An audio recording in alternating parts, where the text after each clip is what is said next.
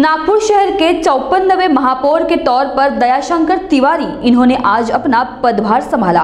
महानगर पालिका प्रांगण में पदग्रहण समारंभ आयोजित किया गया था, जहाँ उन्होंने अपने जीवन के कुछ अनुभव साझा किए। आइए जानते हैं क्या कहा नए महापौर दयाशंकर तिवारी ने। के बारे में क्या कहना है? तो मैं केवल इतना ही कहना चाहता हूँ कि मैं जिस परिवार में पैदा हुआ और जिस मोहल्ले में पैदा हुआ, उस मोहल्ले में देश के आज़ादी के लिए आज़ाद हिंद सेना के बाद एक ही सेना बनी, जिसका नाम था हिंदुस्तानी लाल सेना। और शायद उस मोहल्ले में पैदा होने के कारण मुझे ये सौभाग्य मिला कि जब मैं उन्नीस सौ में नगर सेवक बना तो आज़ादी की स्वर्ण जयंती थी। और उसी का सौभाग्य है कि अभी जब मैं महापौर बना तो यह आज़ादी की हीरक जयंती वर्ष में मुझे महापौर बनने का सौभाग्य मिला है। मैं विश्वास दिलाता हूँ कि जिन बलिदानियों ने इस भारत की स्वतंत्रता के लिए जो सपने देखे होंगे और इस छोटी सी संस्था से स्वायत्त शासित संस्था से जो अच्छे काम की अपेक्षा की होगी वो अपेक्षा पूर्ण करने के लिए उन्हें इस हीरक महोत्सव में आदरांजलि अर्पित करने के रूप में मैं वर्ष भर काम करते रहूँगा यही विश्वास मैं दिलाता हूँ। दिल को छू लेने वाला नज़ारा देखने को मिला जब आपने माता जी के चरण स्पर्श किए।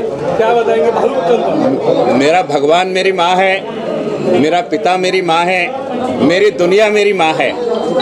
कारण उस माँ ने जब मैं नौवीं क्लास में पढ़ता था और मेरे पिता का देहांत हो गया, कर्क रोग से देहांत हुआ और अठहत्तर के उस कार्यकाल में एक मध्यम वर्गीय परिवार को अगर इलाज के लिए ढाई से तीन लाख रुपए खर्च करना पड़े तो आर्थिक स्थिति परिवार की क्या रही होगी, आप कल्पना कीजिए।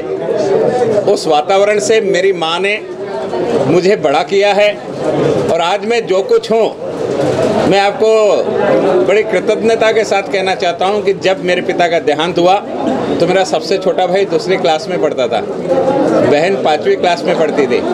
परिवार का संचालन, परिवार का नियोजन, परिवार का धनार्जन और उनके अन्न की व्यवस्था सब मुझे करना है, मेरी ज़िम्मेदारी थी।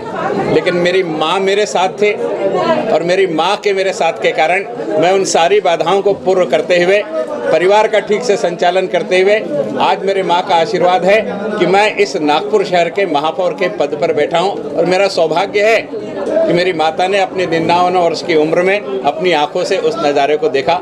मैं ईश्वर के लिए बहुत बहुत धन्यवाद देना चाहता हूँ कि मेरी माँ को ईश्वर और दीर्घायु दे मेरे हाथ से अच्छे होते हुए काम को भी मेरी माँ देख सके। मैं अगर सब अभी बोल दूँगा तो तीन बजे मैं तीन बजे क्या बोलूँ? क्या क्या क्या चुनौती रहने वाली है? मैं अब मैं बाकी लोगों के साथ अन्याय करूँगा अगर अभी आपको सब तीन बजे भी आएँगे। कृपया कृपया क्षमा कीजिए। मेरा नाम दया है फिर भी मैं क्षमा मांग रहा हूँ। कृपया कृपया तीन बजे हम फिर से मिलेंगे।